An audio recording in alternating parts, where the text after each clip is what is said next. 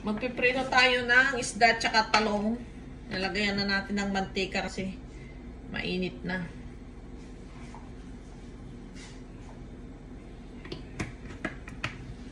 Yan, gagamit tayo ng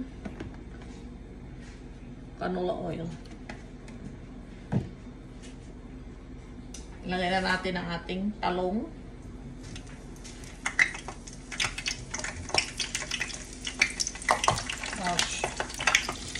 Ito, pwede na, pwede na natin ang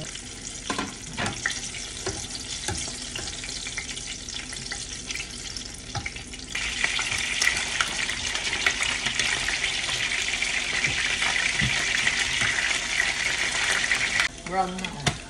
Ganda ng pagkaprito oh.